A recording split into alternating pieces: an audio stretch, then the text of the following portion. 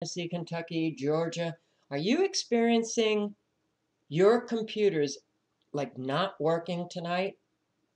Please, uh, I've never experienced what I'm experiencing tonight. I can't get into my email, as you can see, my white page right here.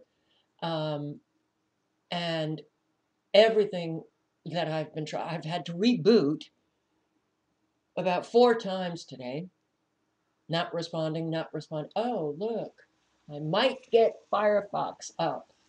It might be coming up sooner or later. Um, is everything slow? Computers crashing? Yeah, I'd like to hear from you because I don't think it's my computer. I think something's going on. Maybe they're making everything really slow because they want everybody to go, yay, 5G, bring it on. I don't care if it's going to kill me. I'll at least be able to download faster for the time that I'm alive. Um, yeah, it's really bad now. Today, for some reason. I hope you're all doing okay. I know that a lot of you are not.